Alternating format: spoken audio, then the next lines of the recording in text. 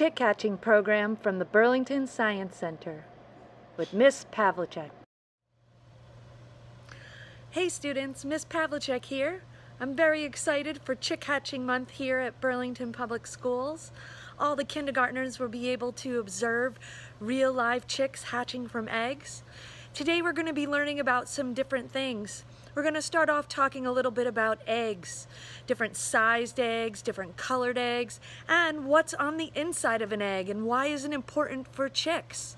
Then we're going to talk a little bit about chickens. What's the difference between a boy chicken, a girl chicken, and the eggs that you get at the supermarket versus the eggs that you have here for the chick hatching program.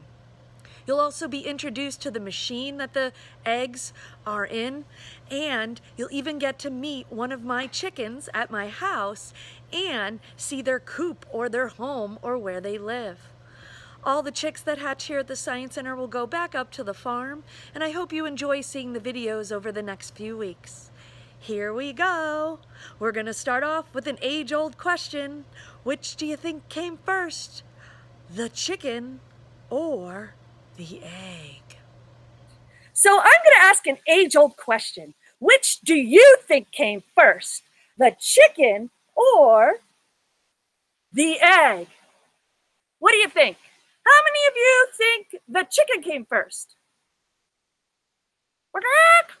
How many of you think the egg came first? Well, this is a very interesting question, and some of you students might recognize this from when I do um, have done a show about chick hatching in the past. Now, I can't really tell you the answer. I wasn't around hundreds of thousands or even millions of years ago when the first chicken was around or the first egg. And scientists, that's what they do. They observe and they learn and they like to tell you their opinion or their conclusion or their ideas about what they think. So I don't mind if you think the chicken or the egg, I consider it right. I like to tell students, I think the egg comes first before the chicken because breakfast comes before dinner. Funny joke. But with all seriousness, for today, we are going to start off with the egg. Eggs. So get ready, boys and girls. Hold on to your seats. Can I get a drum roll? Please, drum roll. I would like to introduce to you the one, the only, the amazing chicken egg! Ta-da! Round of applause, round of applause. Woo! You must be like, Miss P, you're a little silly. But I really do think the egg is an amazing thing. It's one of the most amazing things I think that is produced in nature. In fact, there's a really neat investigation you can do with eggs that I'm going to do right now. Now, you can do this on your own time. Please don't do it right now because we want to learn about the rest of the stuff I have here today. But I would like you to take an ordinary chicken egg from the fridge, and I would like you to take your hands and clamp your fingers together upside down like this. And then I'd like you to take the egg sideways with the edges like this and put it in your palm.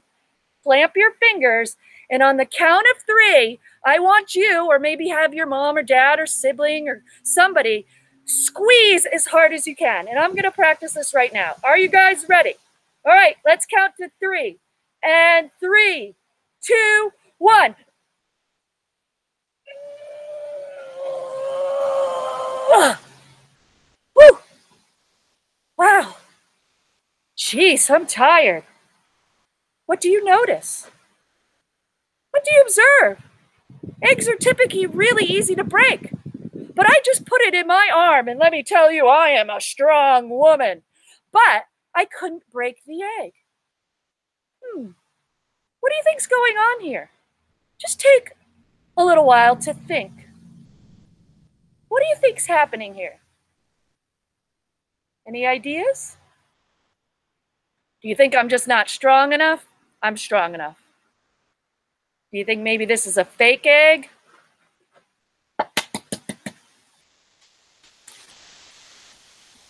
Nope, it's a real egg. Well, boys and girls, it has a little bit to do with the shape of the egg And then it also has a little bit to do with what's covering the egg. What part of the egg covers the outside? That's right, it's the shell. And the egg and the shell is one of the most amazing things produced in nature. Let me tell you why. It's because it's made of a special material or substance. What I need you to do is take a guess. What do you think makes an eggshell so hard? What is that substance? What is it? Any ideas? Hmm. Give you a hint. It's what makes your bones strong. It's why we drink milk, because it has a lot of this substance in it. It's called calcium. Can you say that? Calcium. Calcium makes things really, really strong. And it's what makes eggshells so strong. So this is really neat. You can try this later at home. Now, I have to tell you, if you happen to pick an egg that has a little crack in it or is broken, it might explode all over the place. But it's a really neat thing see to see how amazing an egg can really be. So go ahead and try that. Well, now we're going to move on. Now that we've learned how amazing the chicken egg can be and how birds lay eggs, do you think that chicken eggs are the only type of eggs there are in the world or birds? Of course not, Miss P. There's tons of different birds. So we're going to look at some different sized eggs, which I think different size eggs. Eggs, which I think are really neat. Now the first egg I'm going to show you is the smallest egg in the world. Any guesses? Think of those birds What's a really, really, really, really small bird?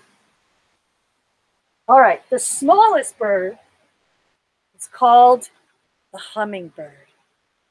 Maybe you guys have some feeders at home. But are you ready to see how small the egg is? Here it is. I don't know if you can see that in my fingers. Whoa, it's tiny. It's just like a tic tac.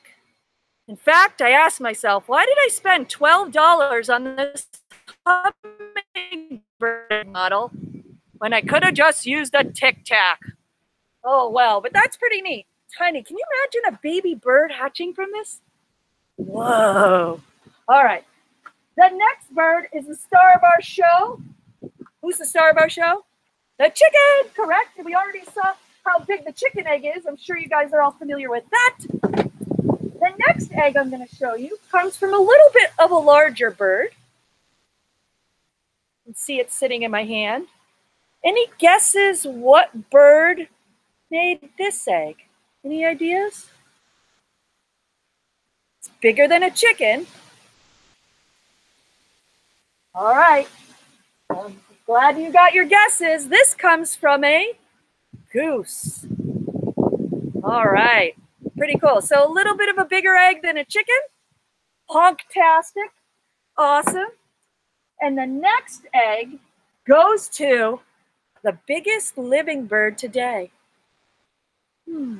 Any guesses? All right, it is indeed the ostrich egg. Are you ready to see the biggest egg laid from the biggest bird alive today? Oh boy, here we go. The ostrich egg. Whoa, sun's coming out, shining on our egg. You can see I've even poked a hole in the bottom to get the inside out. So that's a pretty big egg. But boys and girls, it's not the largest egg that was ever laid in the history of the world. In fact, there are some animals that no longer exist in our world because they've died out for one reason or another. What's that word, that vocabulary word, when animals are no longer around? That's right. They are extinct. This is an extinct bird that was 12 feet tall, lived on an island in Madagascar in Africa, and it laid the largest eggs in the history of the world. And how do we know that, you ask? Well, scientists, what do you think? How do scientists know how big a bird egg is if there are none of them around? hmm. Oh, they find things called fossils. They dig in the ground, things harden, and they find them and measure them. So I don't have a real fossilized bird egg from the extinct bird because it would be worth a million dollars. It would be in a museum and I wouldn't be teaching. I'd be out in the rainforest somewhere in my new house. But we do have a model. So, boys and girls, the name of the extinct bird was called the elephant bird. Elephant, big. And here is how big it was. Are you ready to see it? Another drum roll, please. Here we have the largest egg laid in the history of the world. Woo! Wait! That is huge. Now, again, this is just a model, but it's pretty interesting to think how large this egg was. Might get you thinking. I wonder what the closest relatives to chickens are. What are chickens closely related to? Maybe we'll talk about that in a little bit. Inside of eggs. A little bit. All right. So enough about eggs on the outside. We're going to talk about eggs on the inside. And here we have, once again, the star of our show, the chicken egg. Now, this board here has lots of different parts. And we talked a little bit last week how all of those parts have different function. We've got parts and function. Parts are the pieces, and function are the jobs that they do.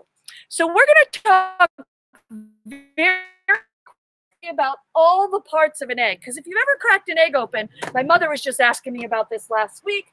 Now, for some eggs, if there is a baby inside, there's this little tiny dot here. We call that dot an embryo. And the embryo is the baby chick right before it starts to grow. But the part that we're familiar with is this yellow part, which is called the yolk. And the yolk is an important part of nutrients and food for us, and it's also the food for the baby chicken while it's growing inside. Now, the next part of the egg as my signs blow away here, is purple in this picture, but it's really clear when we see it. It's called the egg white, and that's because when you cook it, it is white. And this is where the baby chick gets their water from. We also get nutrients from it. And it also keeps out things like germs and bacteria when that baby is um, growing inside the egg. The next part is my favorite are these little white strings. And you can see these if you crack an egg open. So try it later on. You'll see these little white kind of ropey strings. These are called chalaza. Can you guys see that? Chalaza. I always thought it'd be a great girl rock band name. Chalaza! Woo! Yeah, rocking with the chickens. All right. Now, these chalaza, if you look at them and you think of their function, what do you think they do? They kind of look like ropes. That's right. What they do is they support the yolk and the baby inside the middle of the egg. And we'll learn about why because the mother chicken will often roll her eggs and turn them. Now, this pink part here is not really pink in an egg. I'm going to pull open my cracked open egg here. Um, it's an older egg, gets a little gooey. What you're going to see is when you crack an egg open, right on the inside of the shell is this kind of white flimsy piece. It kind of peels and kind of looks like skin. Oh, it's hard for me to get a piece of it. Here it is. Yeah, this kind of white flimsy part. That, boys and girls, is called the shell membrane. And what that does is it prevents the chick when it's growing to getting stuck on the outside of the egg. And then, of course, we have the outside, the black part, which is called our shell. What's the shell made out of again? That's right, calcium. And the shell protects everything that's inside. And the last part you're going to notice is like a little bubble here. And that's because when the baby chick is growing inside, they need an air cell. And what that does is it makes them take that first breath of air with those lungs we just learned about before it hatches and comes out into the real world. Now, so now that we've learned about the eggs on the inside, I'm going to consider you guys experts. Um, Girl versus boy chickens and hatching. And now that you guys are considered experts, I have another question for you. How do we get eggs? I mean, as far as chickens are concerned, which chicken gives us the eggs? That's right, it's the girl chicken. And the name for a girl chicken is called the hen. And in fact, inside the hen's body, she has special parts that make that egg. Yeah, she's got all the same parts we do, lungs, a throat. She's got a special tube where the eggs are made and she lays them out of her backside. But there's a question I have about the eggs that we have here in our house. How come the eggs that we get in the supermarket do not have babies inside of them? Hmm. Any ideas or thoughts? Some people might say, oh, oh, Miss P, it's because they're cold and eggs are typically kept warm. Well, doesn't have to do with the warmth, boys and girls. It has to do with the other type of chicken. If the girl chicken is called the hen, what do we call the boy chicken? That's right. Oh, oh, oh, we call him the rooster. Now, the eggs that we get in the supermarket, boys and girls, those come from a farm where there are only hens. Just hens laying their eggs. It takes one day for a hen to lay her egg. Now, the eggs that we get for chick hatching are a little bit different. They have that small spot that called that embryo, which is the baby chick. And in order to get a baby, we need the girl or the hen, but we also need the boy or the rooster. And the rooster mates with the hen, and makes that egg a special word that we call fertilized. Can you say that? Yeah, fertilized. So the chick hatching eggs like this one are fertilized eggs. And the eggs that we have in the supermarket only come from farms where there are just hens. Now, hens do a lot of work with their eggs in order for them to grow and be bigger strong. So let's see what it's like to be the life of a hen. Do I have any hens out there? Hens? Hens! Hens and caring for the eggs.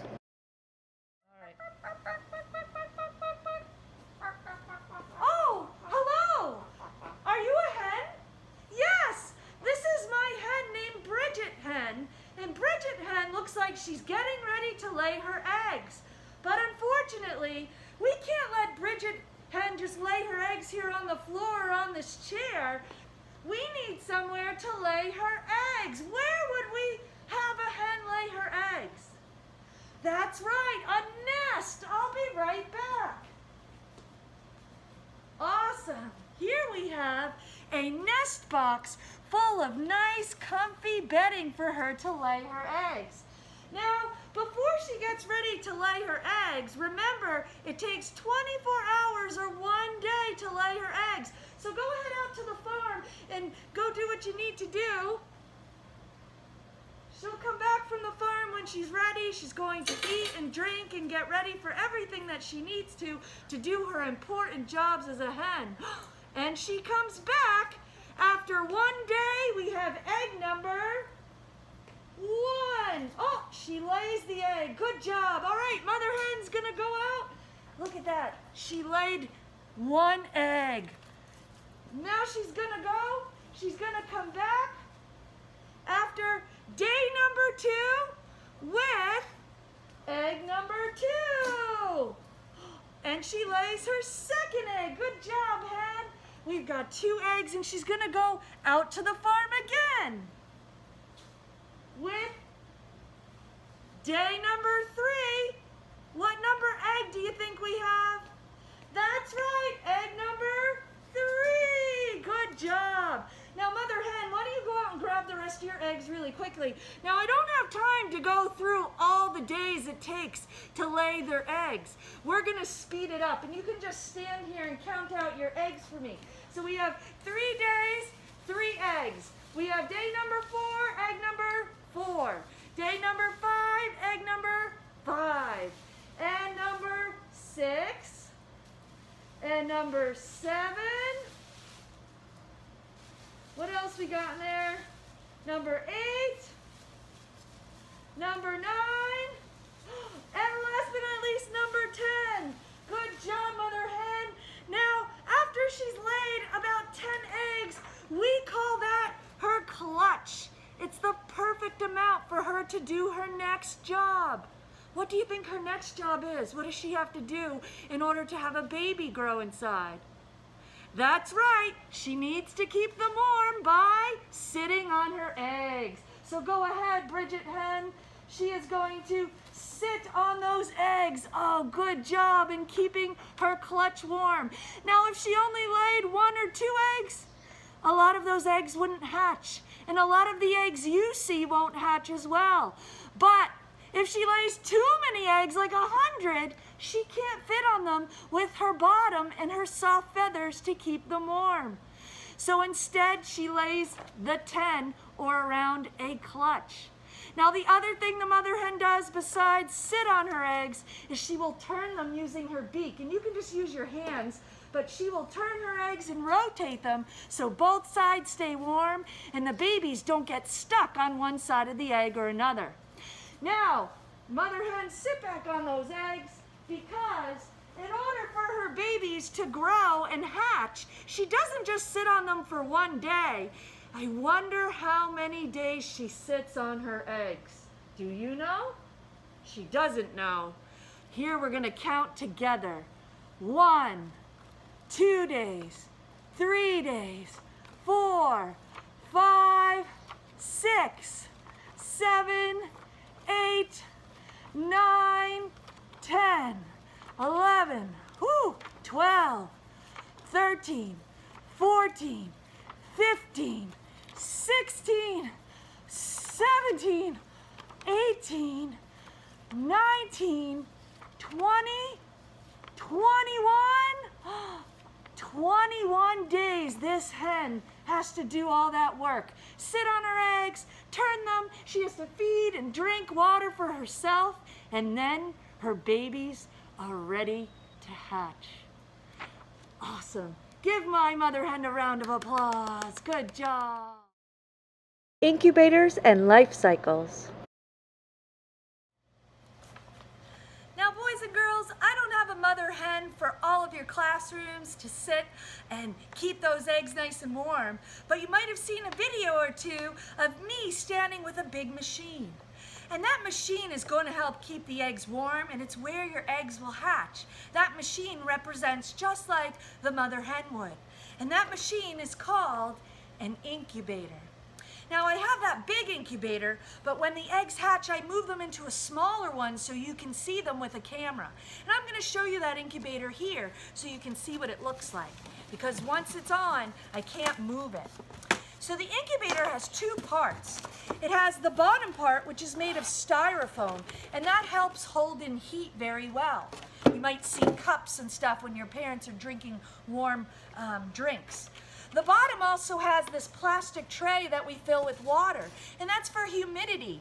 We need it to be moist so the chicks don't get dry and get stuck inside their eggs when they hatch. When the mother hen sits on the eggs, her feathers make those eggs nice and moist from the warmth and moisture of her body. Then we have this little grate that sits on the bottom. And the grate is what the chicks will have their first little gripping strength with. They'll wrap their little toes and claws on after they hatch. They will start doing little exercises and they will learn how to walk on their very own. But when they hatch, you're gonna notice they're wet, they're tired, and they cry a lot, just like newborn human babies.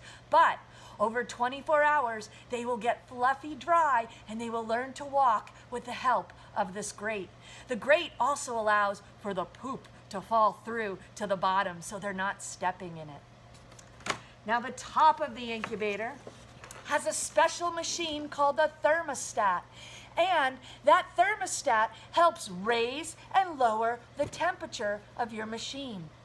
Baby chickens hatch at 99 degrees Fahrenheit. That's very, very warm. And that warmth comes from the electricity in our building. And it goes through the wire and it heats up that thermostat and there's even a little fan to blow around the warm air. And this silver coil is what gets very hot and heats up the air inside the incubator.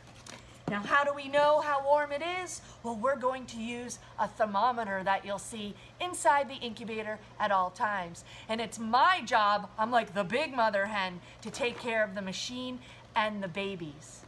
Now, after the chicks hatch and they start to grow, we are going to observe what's called the life cycle of the chicken. The word cycle is like a circle. And what you'll see is we start off with the adult chicken. Then the adult chicken lays the egg. Then that egg hatches into a baby or a chick. And then that chick grows up through different stages and becomes an adult. Usually takes about six months for a chicken to become an adult. And one of the things you'll notice during the life cycle is they change a lot when they grow. They change in size, they change in shape, they change in color, and they even change what they do. They won't sleep as much when they're babies, and when they grow up, they'll be doing different things like foraging for food and insects at the farm. So I hope you enjoy watching that life cycle, and on to our next part. Meet the chicken. This is my chicken Buffy. And Buffy is about three years old, which is relatively middle-aged for a chicken or relatively young. Hi, I know. Most chickens only live to be five to 10 years old. And she is a type or species of chicken called a buff Orpington. And they have this kind of buff color. And because she is buffed, and I ended up just naming her Buffy, uh, some of my chickens I name and some of them I don't. But what we're going to do is we're going to take a look at her body from head to tail, and we're going to talk a little bit about her parts and her function. So the first thing that I always talk about um, with parts and function is the part all the way on the top of the chicken. I'll get really close. Hopefully you guys can see this. It's a red patch of skin on top of her head. Does anyone know what those are called? All right, that is called, I'm gonna get my other signs here for our next segment. That is called Buffy's comb. And it's called her comb because it's just like when you comb your hair, it's up on top of your head. Now, I always say the comb is up top. And what do you guys think the function of that is? I don't know. You might notice it's hard to see because my shirt is red. Oh, easy, Buffy. I know, I know. She's not the, uh, she doesn't always like to be held. Oh, there we go. It's all about making how you hold them and making them comfortable. The comb is actually a way for chickens to recognize each other because their combs are very unique, kind of like our fingerprints or even our hair or the way we look. So you, chickens can tell each other apart from their combs. Also, if we have a boy chicken, what's the boy chicken called? Can any of you tell me? That's right. The boy chicken is called the rooster. Can I get a cockle doodle doo? Come on, everybody, give me your best rooster cockle doodle doo. Oh oh, oh, oh, oh, oh! Go ahead, do it, roosters. Awesome. All right.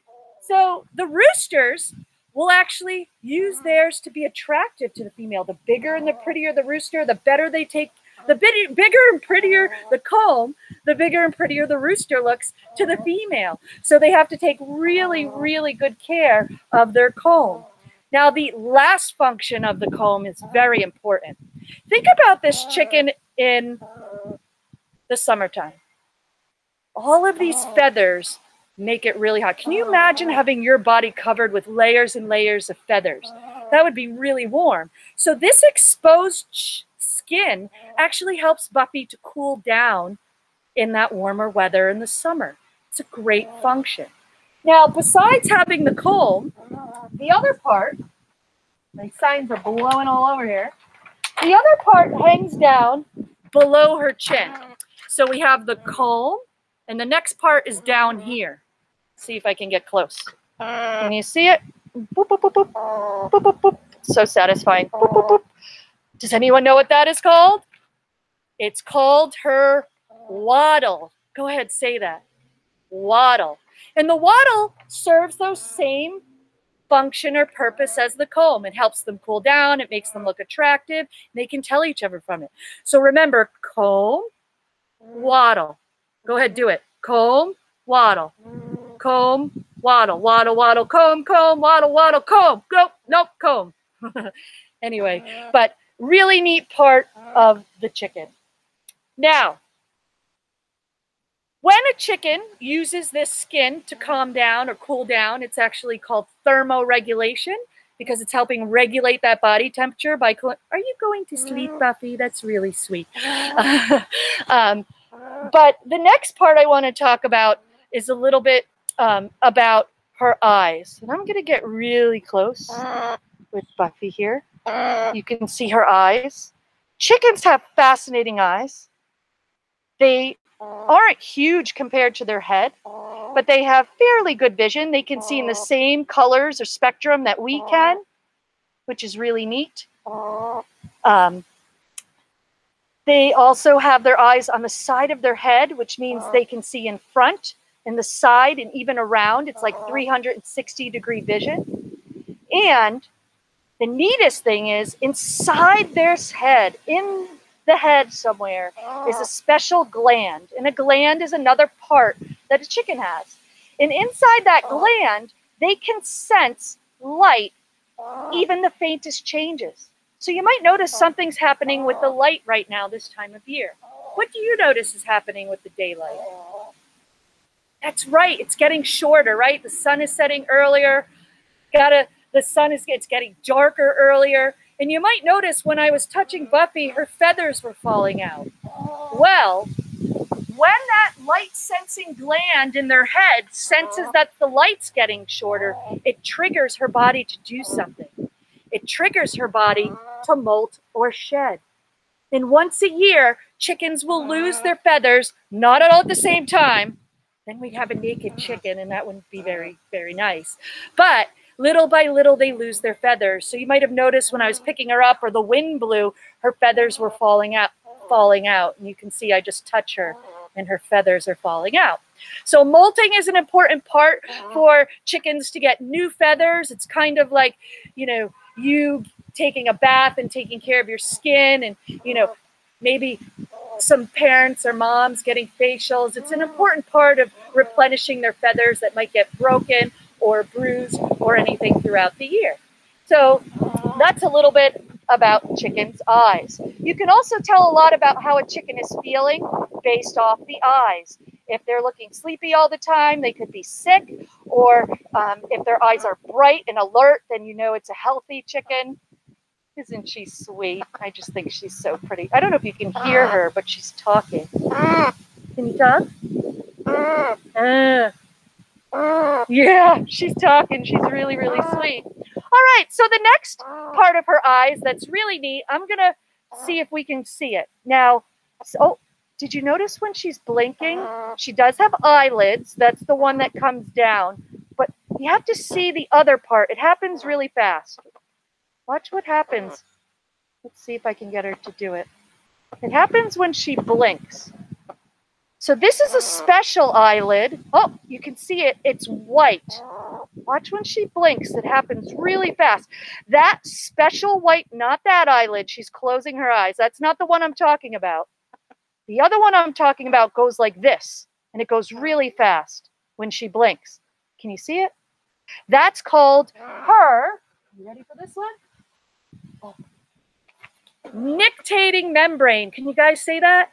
Nictitating membrane, nictitating membrane, nictitating membrane. The uh-huh. nictitating membrane is what protects her eye if she's in a fight with another bird or a predator comes around or if there's stuff blowing around like now with a storm, that protects or covers the eye.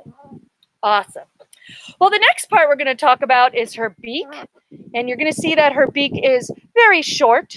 It is a little bit pointy, but it's not super sharp. But they use their beak for lots of functions. Oh. The first thing they use their beak for is eating their food. Now, chickens eat a variety of food, but mainly you buy pellets from the store. It's made of different grains and nutrients and minerals and vitamins. You want some? No. And an important part of feeding your chickens is also having what's called oyster shell or grit. And I'll describe in a little bit what to do with this oyster shell and grit or what it does for them, but you mix it in with their food. They also love things like plants. I will let my chickens out to free range when I'm in the yard and they'll eat the grass and the leaves and sometimes my garden vegetables. Thank you. And then the other thing they love is insects. And these are some dried mealworms. Want some dried mealworms? No, it's because I'm holding her, but we'll put those in the coop later and let you guys watch her eat. And then another important thing for chickens is giving them a variety of fresh fruits and vegetables. My chickens love melon, blueberries, um, and lots of greens and any other type of fruit or vegetable that you might have. Chickens kind of will take any scraps, but you never want to give your chickens things like onions, potatoes, anything spicy. You want to stay away from that. Avocados, those are generally things that animals can't have. Now, besides using her beak to eat, she will also use her beak to assert where she is in her pecking order. They use that word pecking order because chickens have a chicken that's on top, and then a chicken that's on the bottom or the low totem pole, and then all in between. And they use that beak to peck each other to kind of assert dominance and tell you who's the boss. Buffy's not the boss. My duck is the boss. I have a duck that lives with my chickens. You'll see her in a little bit. Um, but they do use that for the pecking order. The other thing she does use this for is to roll her eggs. You can see that if she was going to have babies, she would use that curved part of her beak to roll her eggs. And then the last thing she would do is clean herself. She would use her beak to pull her feathers through her beak and pull all the dirt off. Do you guys know that chickens love to take baths in the dirt. They're called dust or dirt baths. And around the corner in my yard, they dig out where the soil is and they roll around and they fluff it. And what it does is it keeps them clean. It gets the oils off. It also helps them with things like parasites and bugs that want to live on the chicken. And we'll talk about that a little later too. Now, since chickens eat a variety of food, they eat pellets, plants, and insects. Does anyone remember what we call an animal that eats both meat and plants? Now, an animal that just eats meat is called a carnivore. An animal that only eats plants is called an herbivore. And an animal that eats both is called an omnivore. An omni meaning several or many omnivore. Are you an omnivore? Yes, you are. awesome. Now, some birds on the top of their beaks have a little tiny bulge of skin in these two little holes. So there's one hole on this side and then one hole on the other side. And those holes are Buffy's nose or nostrils, just like ours. And she uses those to take in her, air to breathe with her lungs. But that top little part of her beak where the nostrils are on most birds is called their cere. So birds' noses or the top are called their cere. And their noses and their beaks are kind of connected. So their mouth and their nose are kind of the same part connected together. But they do different functions or things. Excuse me. Awesome. So the next part you're going to notice is Buffy's lots and lots of feathers. Now, chickens have feathers on their neck that they can use to stand up when they're feeling angry or upset.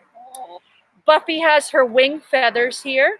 The longer feathers on her wing are called her primary feathers, and those are the ones used for flight. Now, chickens can't, I know, I'm sorry. Oh, let me put her down for a second. Are you going to show them your oh. wings?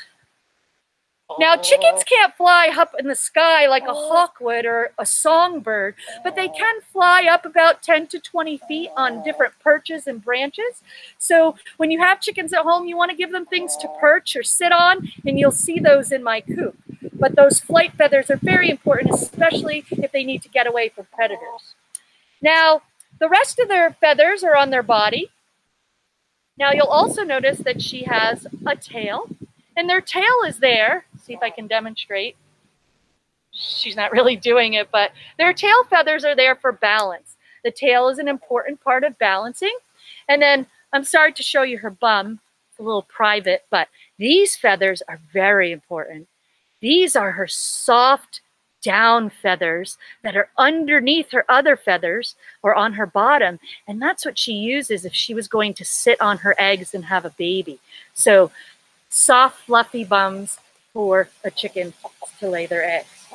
Awesome. Now, underneath their other feathers, too, you can see she's molting. Um, she also has those soft down feathers that help keep her warm. So, woo, those feathers keep her warm and they also make her attractive to the male as well. Um, chickens can be pretty heavy, um, weighing several, several pounds, eight, nine, 10, um, 12 pounds. And um, I'm sure you guys have bought chicken at the store before and you've had different weights or kinds of chickens. We're getting a little shower here, so that's pretty interesting.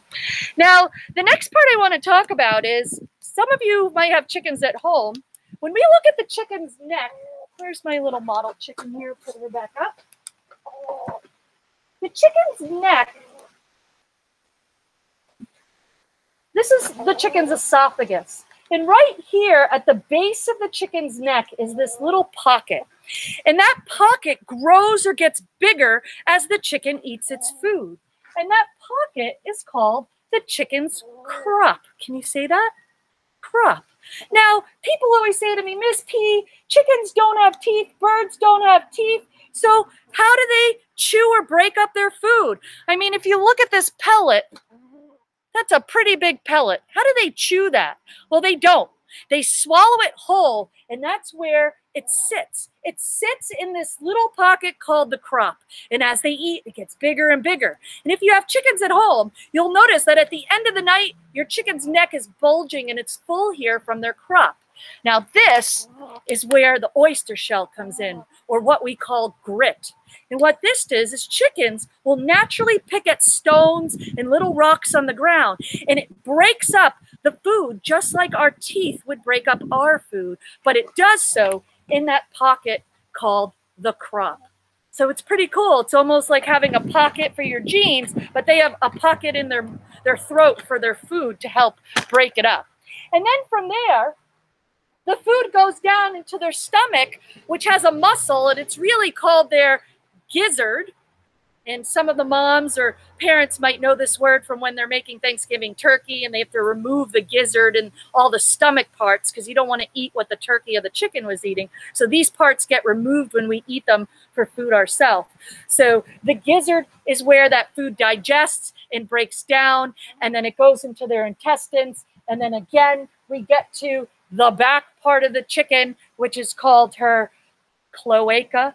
It is a hole, and that is where she lays her eggs, or she goes to the bathroom. And I do have to say, for any of you considering, whoops, sorry, Buffy, for any of you considering or wanting chickens at home, that is one of the number one things you must consider. Birds poop a lot, and they're do have an odor. And when they go to the bathroom, their number one and number two comes out together in a ball. It's a white and brown ball, um, but they poop a lot during the day. Hey students, I hope you enjoyed learning about chickens and eggs and about the chick hatching process and meeting one of my chickens. If there's times your teacher might show you another video introducing my chicken coop at home and what it's like to take care of chickens. But if not, I'll be seeing you again in more videos and during Chick Hatching Week. Take care. Bye.